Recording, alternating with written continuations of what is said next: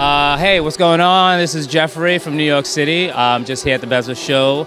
Uh, 2023 New York Fashion Week has been great. The leather mules and the consistency of the dresses was really, really amazing. So if you haven't checked them out, please do check them out. My name is Loli Olivera.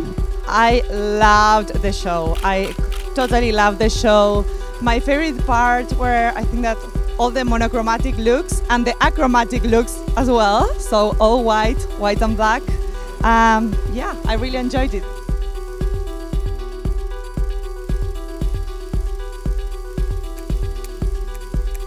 Hi everyone, I'm Umi. I'm a singer songwriter and a model. And today I'm wearing this Bevza outfit. It's actually supposed to be like a shawl like this, but I was like, nah, I want to bring like Star Wars energy, so I made it a hood like this.